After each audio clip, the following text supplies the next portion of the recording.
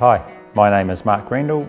I'm the Operational Manager at Icing International Limited, where I manage the company's assets and I work with the marketing department to promote the Ritura brand.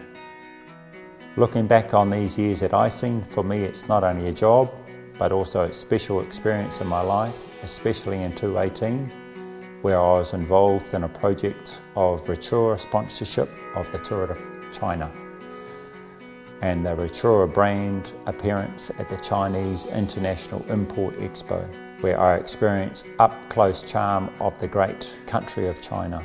Compared to local New Zealand companies, Chinese companies have more innovation and positive energy and a responsible attitude. Chinese entrepreneurs have a high market acumen and they're willing to discover business opportunities, solve problems, then develop a matching business model. In practice, Chinese entrepreneurs have a global market mindset, spreading New Zealand products to a wider market and driving the upgrade of New Zealand's industrial chain. Ritura has been recognised as the first tier of export companies by the New Zealand Trade and Enterprise. Locally, we have led a new development model of green and organic agricultural products through globalised operations.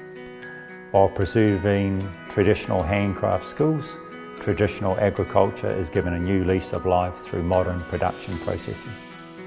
Before I joined a Chinese company, my knowledge of China was a bit superficial.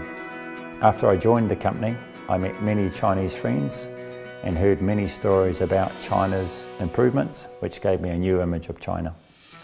If there's one thing I'm looking forward to, it's riding my bike on China's high quality roads. I know China has unparalleled ability to build infrastructure and as a cyclist, I've ridden on many different roads in many different cities. But I've heard from other riders that China has the best quality roads, and I've always wanted to experience that. I hope more Chinese customers will like the organic, natural agricultural products from New Zealand and continue to exchange between the two countries.